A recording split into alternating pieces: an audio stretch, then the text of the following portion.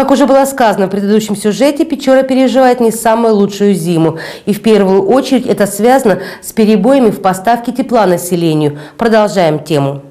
В четверг в районной администрации прошло еще одно заседание, посвященное подготовке к следующей зиме, а именно строительству и газификации котельных в Печорском районе.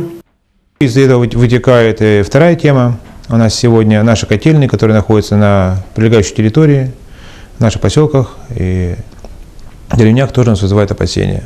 Прежде всего, это э, их топливо. У нас сегодня очень много разных котельных, 20 котельных на территории подчиненной.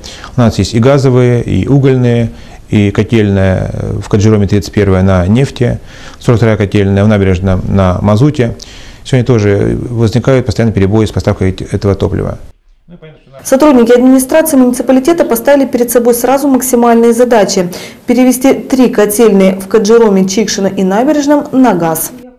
Сегодня оно одно из наиболее таких экономически, экономически выгодных вот, топлив, топливных составляющих при, при выработке тепла, дешевле, экономичнее, целесообразнее. Вот. Практически не бывает сбоев по поставке газа.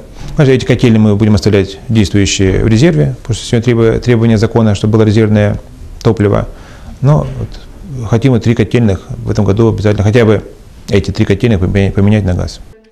Тут же будут построены модульные котельные. Как отметил Владимир Миников, скорее всего это приведет к снижению тарифов на тепло в этих трех поселках.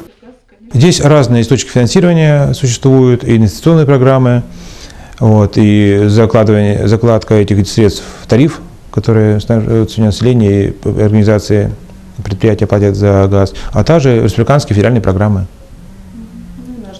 Да, ну и, конечно, да, бюджет республиканский, местный. Мы получили поддержку министра архитектуры, строительства и коммунального хозяйства Олега Владимировича Казарцева. Сказал, что обязательно в этом вопросе он у нас здесь был зимой несколько раз за свое короткое время такое, пока он министр. Обещал поддержку в этом вопросе. Это, конечно, не да. Мы пригласили зрители, если видели в кадре, представители не только администрации, но и газовых предприятий, Печора, э, Печора газ, э, Печорская ЛПУ, Межрегион газ, для того, чтобы их э, требования тоже нам учесть, как к этой трубе Воненко-Ухта нам сделать подключение, чтобы поставка газа была на котельной была заранее согласована. В рабочую группу по строительству и газификации котельных в районе вошли главы поселений, представители газовых предприятий, сотрудники районной администрации. Их собрания также будут проводиться два раза в месяц.